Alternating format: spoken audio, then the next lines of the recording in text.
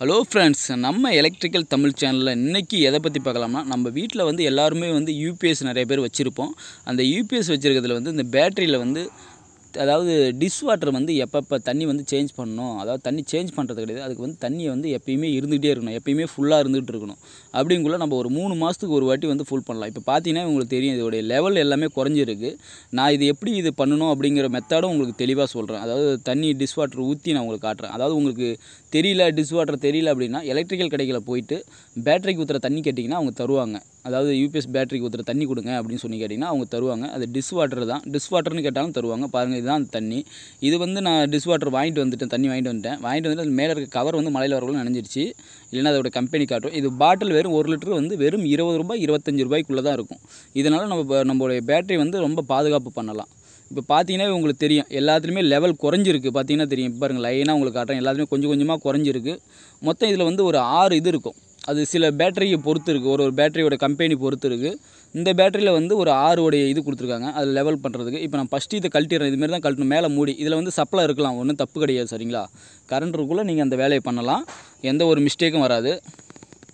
இப்போ வந்து நான் எதுக்கும் வந்து எனக்கு வந்து எங்கள் வீடு ஓட்டில் வீடு தான். அந்த ஓட்டில் வீடு நான் யூபிஎஸ் வச்சிருந்தனால எனக்கு வெளிச்சம் சரியாக பத்தல. அதனால் வந்து அது உள்ளே தண்ணி ஊற்றுறதுக்கோசரம் லைட் அடித்து நான் காட்டுறேன் உங்களுக்கு. இப்போ மூடி திறந்து நான் அதில் ஊற்றுறேன் பாருங்கள் அதில் ஃபுல்லாக ஊற்றிக்கிங்க ஃபுல்லாக ஊற்ற வேண்டாம். அதில் வந்து ஒரு லெவல் இருக்கும். மே உள்ளே இருக்குது தெரியும் உங்களுக்கு. அதாவது பேட்டரி மட்டும் இருந்தால் ஊற்றினா போதும்.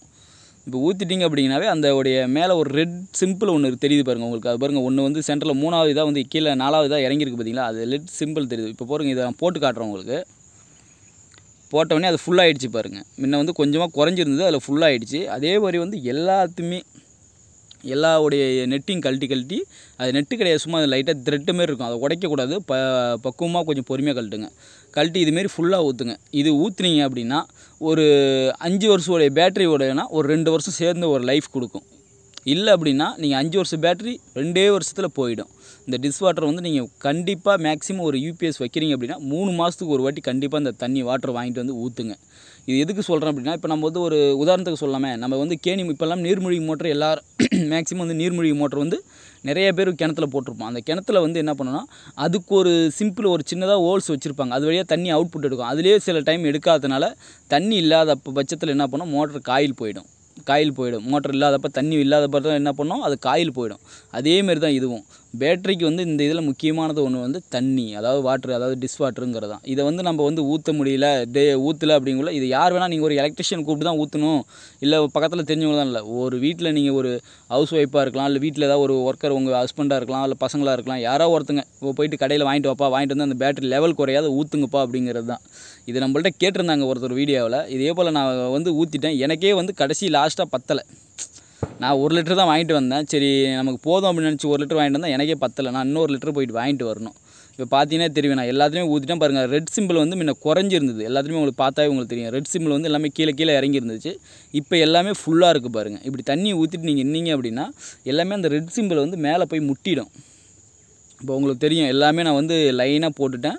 ரெட் சிம்பிள் வந்து எல்லாமே முட்டிடுச்சு.